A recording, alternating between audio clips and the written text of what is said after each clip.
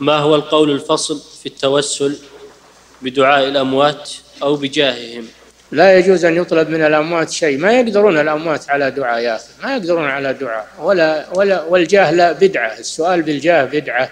لم يرد عن الرسول صلى الله عليه وسلم السؤال بالجاه أبدا. أو بدعة. والطلب من الميت أن يشفع أو أن يدعو للحي هذا عكس المطلوب. المطلوب العكس أن الحي هو الذي يدعو للميت لأن الميت عاجز. انقطع عمله. انقطع عمله من الدعاء وغيره. أو بحاجة إلى من يدعو له. فكيف تطلب من الميت أن يدعو لك؟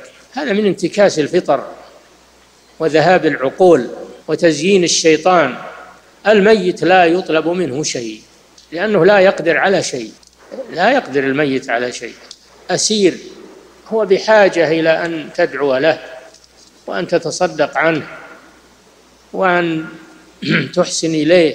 أما أنك تطلب منه فهو لا يملك شيئا. بعد موته لا يملك شيء. نعم. إن تدعوهم لا يسمعوا دعاءكم. ولو سمعوا ما استجابوا لكم. نعم.